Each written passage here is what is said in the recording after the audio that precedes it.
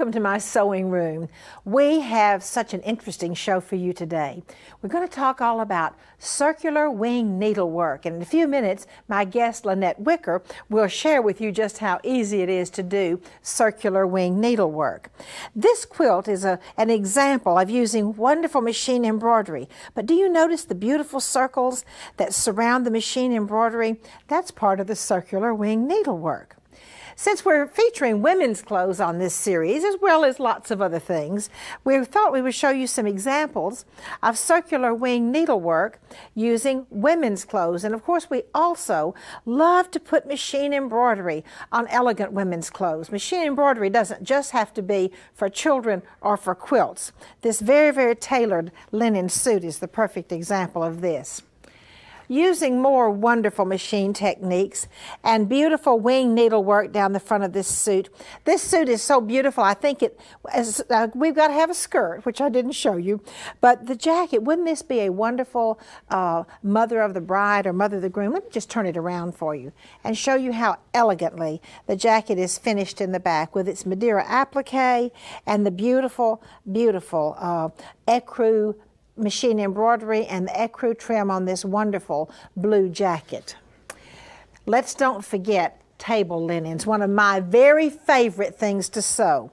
This table, this beautiful table runner, and it could also be made into a placemat or napkins, has machine embroidery around the edges, but I especially want you to look at this delicate white on white circle machine uh, work, circular machine work with a wing needle. One more example of the circular machine work with a wing needle plus the use of machine embroidery is right here. Now then, come on over to the technique boards and let's begin to see how easy it is to do wing needle circular work on the sewing machine, of course.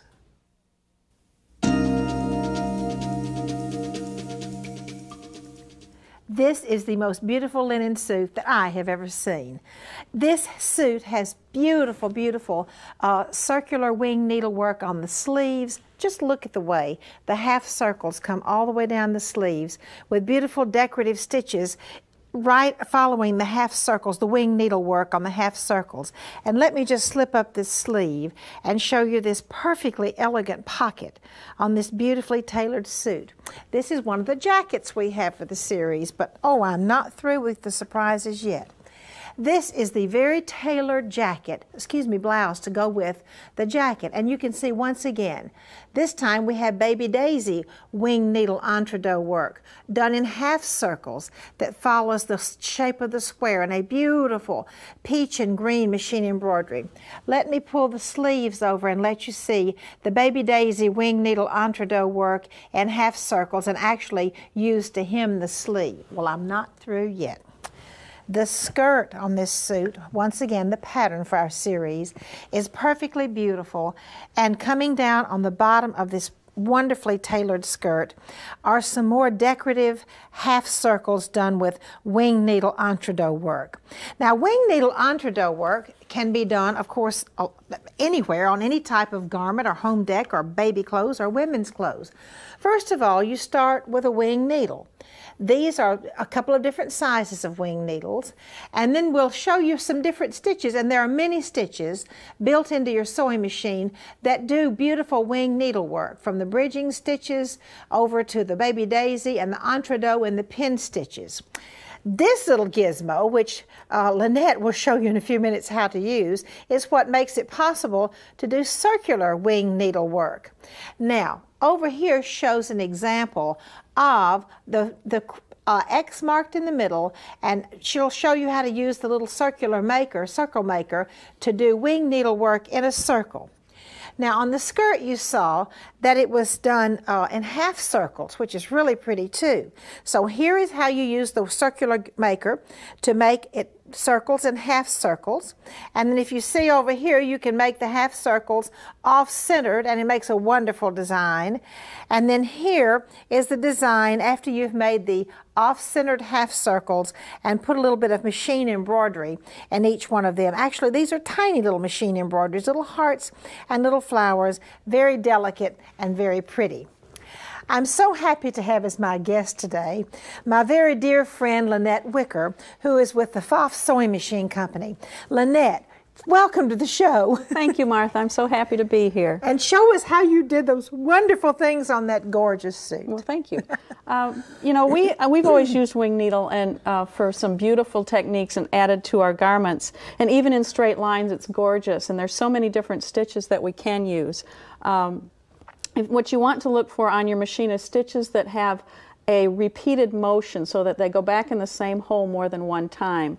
Um, like these here, uh, you can see, I know your favorite Lazy Daisy stitch oh, right here does that. But even if you don't have a lot of decorative stitches, you can um, look for the simpler stitches like your zigzag stitch that goes back in that hole over and over and over again. They're called tri-motion stitches. That's what you want to look for. And then when you set up your machine, you want to attach your um, circular guide. This is the way the one works on our machine, and it's got little notches on it here so that I can actually um, measure and know that I'm going to get my circles all the same each time I put it in. And I slide it into the back and tighten it down, and all I need to do now is put my fabric underneath here and start sewing. So on this one, I've drawn a line first with a fadeaway marker so that I can do my half circles um, like on the samples. So I'm just going to put this down here and I've selected one of my entre stitches and just let the machine do the work. And I don't want to do too much guiding. If I do the guiding, it's going to affect it. The circular guide is doing what I want it to do. That so, is fascinating. Isn't it? It does oh beautiful work. You just let it sew. And there's just a little rubber piece in the bottom of That's there that right. holds it. The rubber stopper keeps this right where it is, and I'm just going to keep my finger on it because that keeps me from doing anything else. In other words, hands off. That's right. the machine knows what it wants to do. So we're going to do this half circle, and when it gets back to the line, all I need to do is stop and reposition. So we've come to our line and now I'm just going to slide it down and put the eraser uh, where the last one ended and okay. go right back. So it's very simple to do this. And when I've completed my circles, I just go back and forth, back and forth from one side to the other to create the different sides. When it's totally complete, we'll go back through and put the line down the center. We can let that continue and I'll show you the effect that you get if we had just done a complete one. But this is going to be what we have finished right here so that we have the two circles and as I continue I will just add one more circle on this side and one more circle on this side and we'll have everything done and then go back and put the embroidery inside the circles. Annette, that is absolutely beautiful, and I, you know, I, easy is my favorite word. That's right. It's very easy to it's make. It's very easy to make fabulous everything elegant looking. That's right. and elegant. Oh, that suit is so fabulous. Right, thank you. Thank you, Linnette. Thank and you. now Linnette has a garment construction tip for you.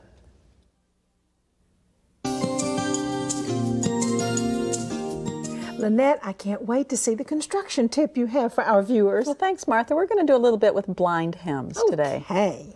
When you do a finish edge or the bottom of your garment, you have to finish it.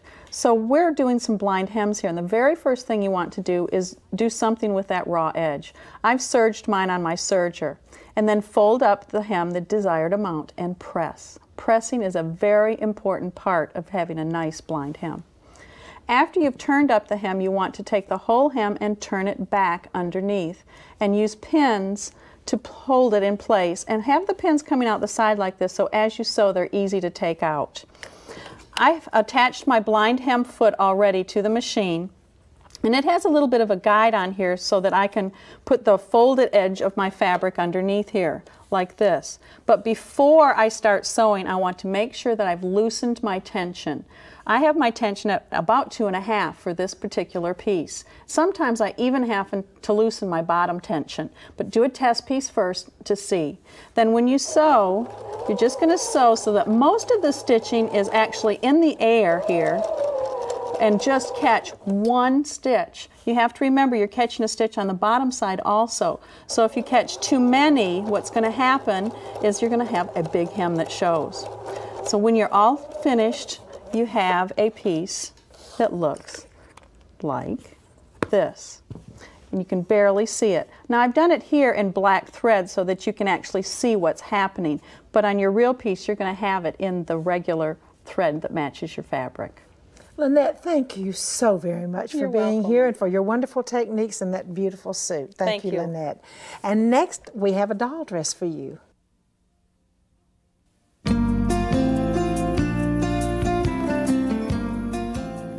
I think you are going to love this beautiful blue Swiss Batiste doll dress.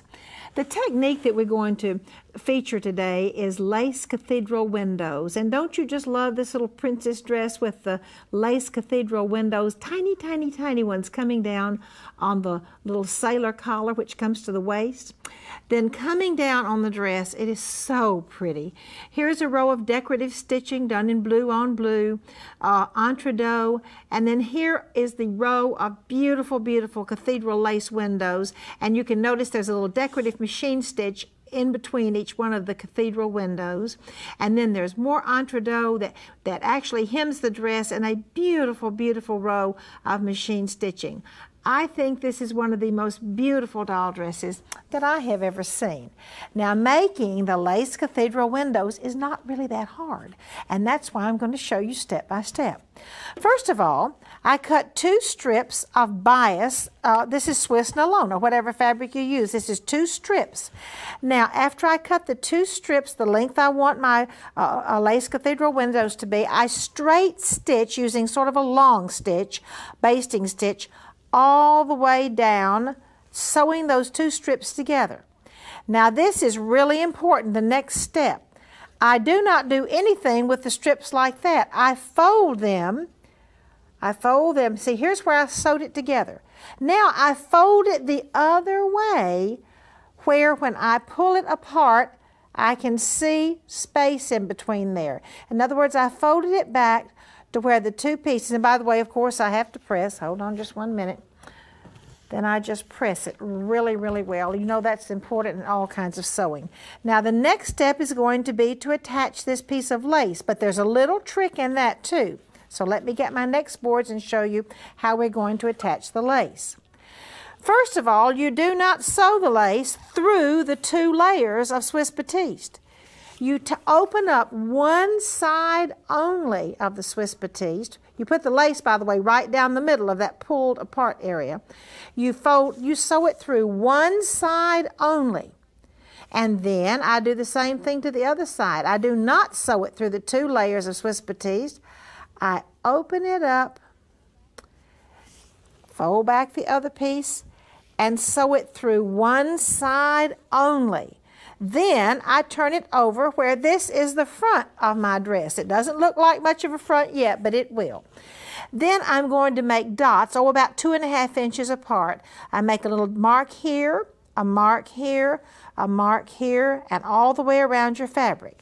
Next, I go back in and bar tack those marks here and here and all the way down. I bar tack. And then as you can see, the next step is simply to, oh, I have to pull out the basting stitches. And then I open it, come in and very carefully, I might add, press. Then I open the next little section just by pulling, um, kind of finger pressing it with my fingers.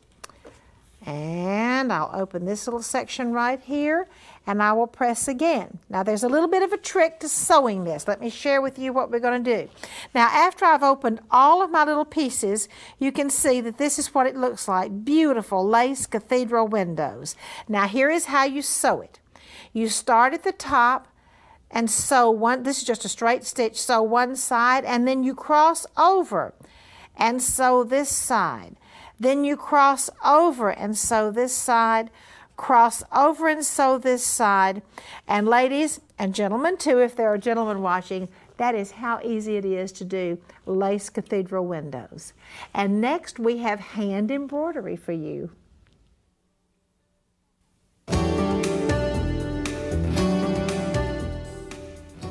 I'm so happy to have as my guest today my dear friend and business colleague, Kathy Neal. Kathy is one of the world's finest stitchers, and a, a, really exciting thing, Kathy is also enrolled in the certificated course at the Royal School of Needlework in London. Kathy, welcome to the show. Thank you, Martha. It's always fun to be here. In our continued discussion of early English embroideries, the Elizabethan and the Jacobean, uh, I wanted to bring a little special piece that I thought terribly interesting with me this morning. Um, Jill McFinney of New Zealand stitched this piece. This is a Tudor sweet bag. And the sweet bag was a very versatile little piece of needlework whimsy um, it was all, it usually had a handle of twisted cord, just like this, and tassel making and the decoration was an art all in itself that people prided themselves in being able to do something really special. A sweet bag had many functions. It was a gift wrap. If you had a small trinket or a gift to give someone, you could just slip it down inside the sweet bag. Um, the term sweet probably came from the fact that it was also used as a little potpourri bag or a sachet. Lavender was put inside, and it was stored with linen or perhaps lingerie. It's, there have also been some sweet bags found with little pin cushions attached, much as this little um, pin cushion would be attached to the side. And from portraits and from pictures of the period, we know that perhaps women attached them to the belt of their skirts or um, dresses uh, to keep as a little pocket, just, just as we have pockets in jackets and skirts. But the sweet bag is a precious, precious uh, small article that if you wanted to just try a little bit of this Elizabethan embroidery, that the Tudor sweet bag would be, would be a delightful place to start. Today I'd like to talk to you about a fascinating stitch. The first time I saw this stitch, I was amazed. I couldn't figure it out, and I asked and asked everyone that I knew if they could possibly help me to um, master this stitch. And this stitch is applique cord, and it really looks, Martha, like inserted entredeux into fabric. It doesn't have a beginning or an ending, really, but I wanted to show you the Elizabethans were fascinated with any sort of animal or creature from nature. And here we have um, the little snake or worm, it's somewhat abstract here, um, on the side of this scroll that we have here, the one in green. And it's done in the applique cord, and it's really nice because it, it actually looks like it is segmented. For applique cord, and I'll start here on my hoop, we need a cord and the cord lies right above the design line. And what we do, and I will put on my glasses for this because it is one of those that I need a little help with, we come up just under, just under the cord which lies just above the design line. We actually bring the needle up on the design line and we tack that needle down, tack that cord down with the first stitch, just like this. And then we come just a stitch width away and we began to do the pin stitch. Um, the um, applique cord is just like a pin stitch. I go in it, A, come out at B, and I go over the cord to couch it. And now we have a new A, and B becomes, I mean, A, our last A becomes our new B. And as you see, as we go along, we can actually couch this cord down. You can also do this in hand if you want to, but it's very important to hit the same hole. This is same hole stitching, much like shadow work or other needleworks. Now when you get to the end and you're ready to um, come back, you simply turn the cord around and tack down the end.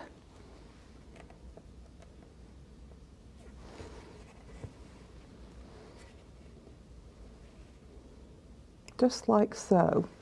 And then using the very same holes that you used for the first pass, you come up in the same holes and this time you simply go in those same holes and then you couch the other side of the cord. And that way you look like you have, and I always use the same color um, working thread here that I use for the cord because I think it gives it that, that beautiful entree look. And you have the two laddered sides. Kathy, what kind of floss did you use? What kind of? In all of this Elizabethan embroidery that we are studying, I am using a silk, a silk, and for this, I used this particular silk has six strands, mm. and I use um, five for the cord, and then take just pull out one. So my cord is five strands, and that's exactly what I did here. I used five strands out of the um, bundle, and couched and couched and worked with just a single strand. Well, Kathy, once again, that this has been a fascinating, fascinating uh, stitch from our Elizabethan work that you're presenting for this series, and I want to thank you again for all of your effort and for coming. Thanks for having me, Martha. and next, let's go to my attic.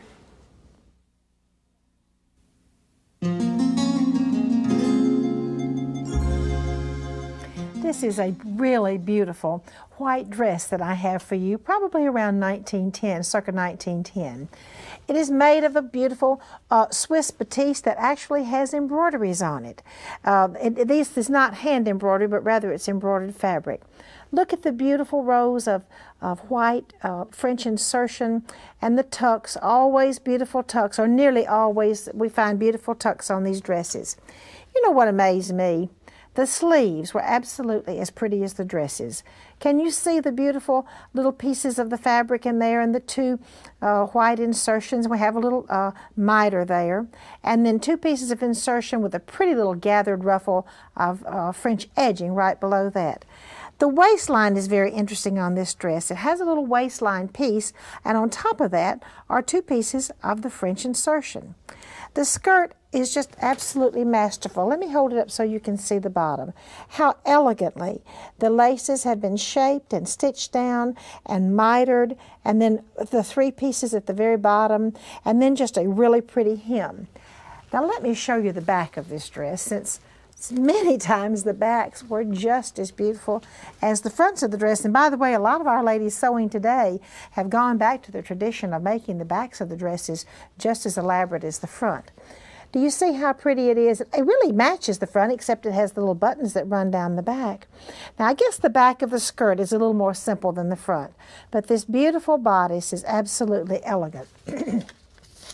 For my Sewing from the Heart for today, I have a letter from Alice Collins, and Alice writes, I belong to a senior citizens club in Gwinnett County, Georgia. We have two main charities, and there's one I would like to tell you about, the dolls that we make. The doll is sewn and stuffed. The doll's dress is sewn and placed on the doll. They are then taken to the children's hospitals and little red wagons. The doctors there use the dolls to show the patients where they will be uh, have their surgery. And if the child is small enough, he is taken to the operating room in the little red wagon. And of course, the doll is theirs to keep after the surgery. Last November, our Fun Time Club took 277 dolls to the hospital. And at each monthly meeting, we were made aware of our needs as to cutting, stuffing, and sewing for the whole year. Alice Collins. I also have another really sweet sewing from the heart from Carol Clothier.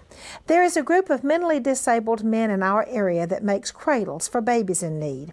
Our quilt guild, Morning Star Quilt Guild in East Aurora, New York, has made over 250 crib quilts to be distributed with these cradles. The group that makes the cradles has come to our meeting to show us uh, one of their cradles and the sanding and the finishing for their project. And of course, they always join us for snack time.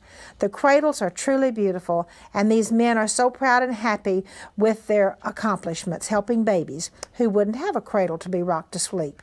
And we're quite happy to provide quilted warmth. Carol Clothier from East Aurora, New York. I just want to thank you so much for joining me in my sewing room today, and I would like to invite you to come back next time.